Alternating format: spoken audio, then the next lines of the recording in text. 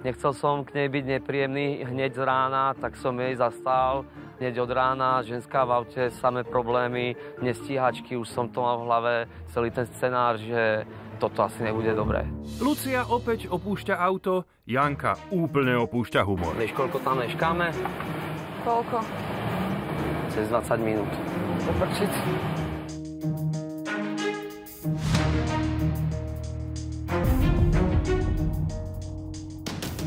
Šli sme cez zákaz, nevadí, dúfam, že to nikto nevidí.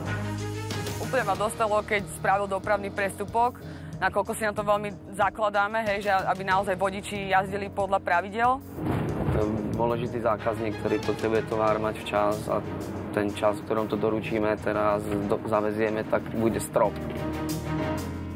Čau. Ahoj. No, kde si meškáš? Tu máš faktúrku, prosím ťa, napočítaj mi to. Ale my vám ideme vkladať teda ostatný tovar. No, No, pohni. No, v podstate, keď meška tovar, tak proste meška všetko. Hej, celá prevádzka je posunutá, menučka, obedy, všetko. Je to celé zle. Pomôžem ti? No, môžeš. No, Výhody až málo. 2 kg majú byť. Chyba nám kilo masla.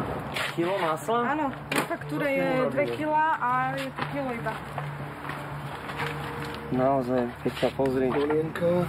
Boli to, že dva veľké prúsery, už len to, že sme meškali a už sa ani nebáme o tom, že niečo na, vlastne medzi tými surovinami chýbalo. Hej.